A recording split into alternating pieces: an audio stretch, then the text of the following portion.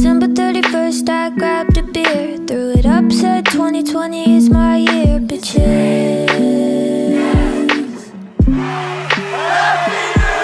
And I honestly thought that that was true until I gave this motherfucker like a month or two. This is getting kind of ridiculous at this point. Yo, my cat died, and a global pandemic took over my life.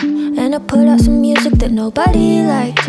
So I got really sad and bored at the same time. And that's why I'm like, low key, fuck 2020. Still sad, still ain't got no money.